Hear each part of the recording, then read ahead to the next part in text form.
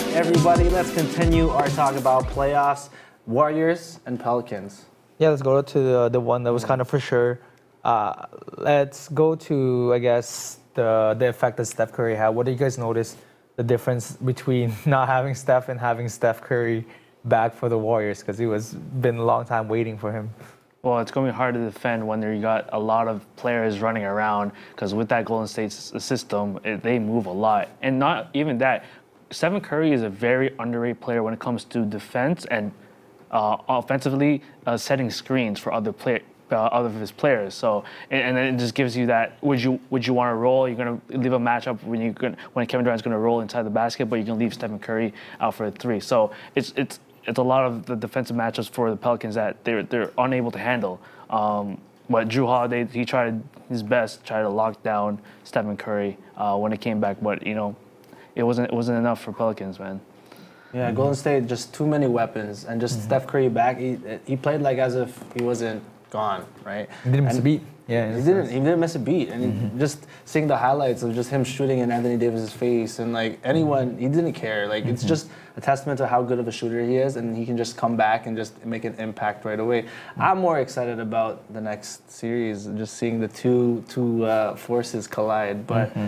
Yeah, I, uh, it's it's good to see Stephen Curry back. I guess it, it was good for him to I guess warm up in a sense yeah, because he, needed that to, to get ready for you know mm. Houston. They play so different. Like if you guys notice the way they play without Curry, uh, it's it, they play a traditional kind of player where they have similar start to how Giannis, uh, Ben Simmons, uh, with a player like Durant who kind of runs the show. How Draymond kind of helps mm-hmm. out a lot with that, playing that point forward. Uh, nowadays, a lot of teams are like that. They have a, a forward that can do the playmaking duty but it opens up when Steph Curry comes into the game. Just uh, the room in terms of the paint opens up so much because of the fact that he, the gravity that he takes in. Uh, he can pull up from 30. He can pull up from the logo, and the fact that he could do that allows them to basically get one defender away from the basket. And that, and if there's, you know, if they set their screens and they do their mismatches, they can easily go one on one and have no help in the paint because Curry all the way up here has a defender on him and, and it helps a lot because during that series, actually Jrue Holiday was the one that was trying to stop Durant. So it was hard for them. Yeah. Like who who are they gonna put in Clay? Who are they gonna put in Curry when they have you know their best defender, Jrue Holiday, the perimeter defender, was trying to defend a player like Kevin Durant who can shoot over him many times. Mm-hmm. So they had a really hard time. The series, but everybody knew they was gonna be a Warriors. Uh, it was good, impressive for the Pelicans to win one game, but everybody knew that it was too. It was it was Too a good warm up. Too much warm. They just play so a lot differently when Steph Curry's there because he's not just a good shooter. He's a good uh, dribble. He's a good uh, has handles, playmaking. So he does a lot of things. And like you mentioned, underrated in defense. And he's a great pick uh, pick and roll player. If you set him Durant, sometimes he sets the pick for Durant. And that's a scary matchup because once you set that pick, the switch, they have to switch because Curry pops, and then you have the, a smaller player in Durant, and it just like it makes the game so much easier for players like Durant, Clay, uh, Draymond once Curry's on the floor, right? Mm. I guess what's what's what do you think is next for the Pelican and the Pelican side? What do you think they should do moving forward? Because they had a great first round series against uh, the Blazers. They clearly are a good team if they just surrounded Davis, Jrue with the right type of players. What should they do with the player like they have technically DeMarcus Cousins, who's going to mm-hmm. be a free agent? Yeah. Uh, I'd say try to try to keep him. I think during the regular season they were playing very well with with with him. So I mean, it's it's it's going to obviously step back Anthony Davis a little bit, step back his load more. Um, so you, you, have Boogie Cousins helping out. Uh, Rajon Rondo is actually going to help up as well. Jrue Holiday is helping out. So and it's that less that less of a load for Anthony Davis can help out you know, increase more production for the team. Um, they could probably sign one or two players off the bench, um, you know, helping out the scoring and defensively, just just to keep that mindset of you know, keep passing the ball around as well. So, mm-hmm. I never know with Pelicans.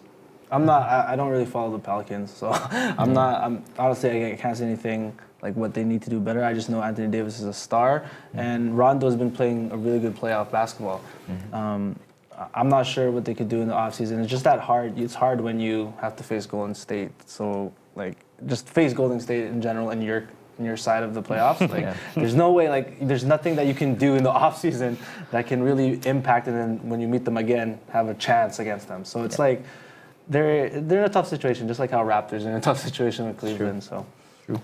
Uh, how about the uh, the one that just ended recently, the Boston Philly series? What did you guys Series. see? What did you guys notice between the matchups? Were you guys surprised in terms of what result came in? Like that Boston was able to come through without their two of their best players. It is, it's, it's scary, sorry. Uh, it's scary to see that the, uh, a rookie team, uh, technically a rookie team from Boston, is beating out another technically rookie team for Philly just without exactly their two best players. So it just shows a testament to what not only the players of Boston, but what Brad Stevens as a coach and his coaching staff can do to influence his players to play at a high level without their best two stars. I'm sad that Philly didn't make it Eastern Conference Finals. I wanted them to. I think they have. a- You were the a- favorite after all I that. think they still have a bright Yeah. future because this is just um, a, this is still part of the process. As, as you said, last year they're only about they only won what around 30 games. This year they won about f- almost 52. 50. So that's a big gap, and you never know. They, they Markelle Markelle Fultz has been playing as well. So what if you if what if Markelle Fultz comes in and he's a top shooter in that team? So they have a bright future Philly, and, I do believe that Philly is going to come back to the playoffs, make a deep run again. Uh, hopefully, despite if Boston has that two best players, you know, Kyrie Irving, Gordon Hayward. So true. And then Philly going in the offseason, they'll have the cap space to make a big, sign a big, big big, move. I don't Yeah. know what's gonna happen. Paul George, maybe. They're they're well Ooh, capped, they're well prepared. yeah. I'm not sure. But uh, Boston is, is built for a dynasty too. I think they're if Warriors are a dynasty in the West, I think Boston is the dynasty in the East just because of Ooh. how how well they prepared themselves, draft pick wise and cap space wise. They got Horford on a really good deal. They have three young players that ne- people didn't know it was going to be this good. Terry Rozier came, you know, blossomed. Jayson Tatum, uh, he was my pick for from my rookie of the year.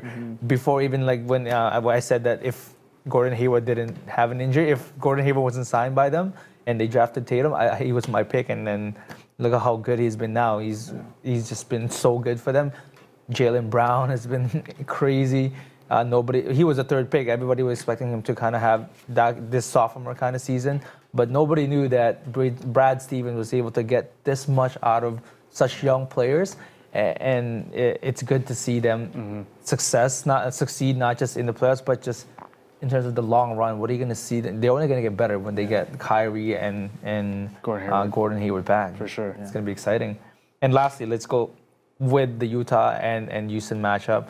We knew that Houston was going to come out of it. I just want to hear what you guys have thought about Donovan Mitchell in terms of how he carried the Jazz past the you know the OK three, and now had a win against uh, Rockets too before they gave down three one. Yeah, yeah, Donovan Mitchell did his best. Uh, he's rookie of the year for sure uh, in my books. He did his best, especially without Ricky Rubio um, on the sideline. They were a phenomenal team. Uh, Utah, bright future as well. Uh, what stands out to me is Houston. CP3 is his first time heading to a conference final. Congratulations to him. It's just another stepping stone for um, for another you know award for his career. You know, hopefully he, he get that ring one day. But um, it's just you know another Hall of Fame uh, step to his career in CP3. So it, it was a great series. Utah has a great match, um, bright future, and Houston. It's gonna be a great series for against you know we'll talk about after Golden State Golden Warriors. State. Yeah, I, lo- I love Donovan Mitchell. All the highlights that he did, like he did in the series, from like mm-hmm. putback slams to slamming, way better than Harden's foul making ability.